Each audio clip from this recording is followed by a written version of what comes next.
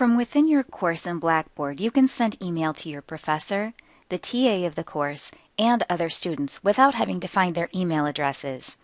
Within your course, click on Tools from the menu at the left. The tools are listed alphabetically. Email is actually under S for Send Email.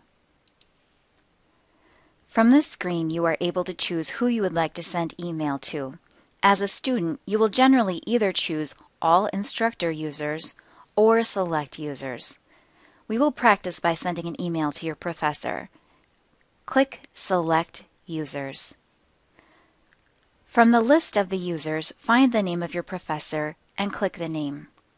You must arrow the name over into the selected box. Give your email a subject line.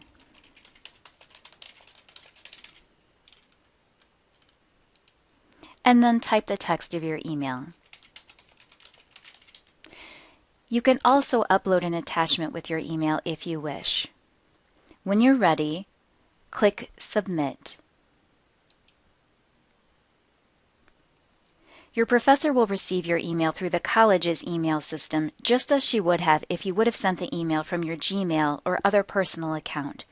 When your professor responds to your email, you will receive that email in your college email account too, not within Blackboard.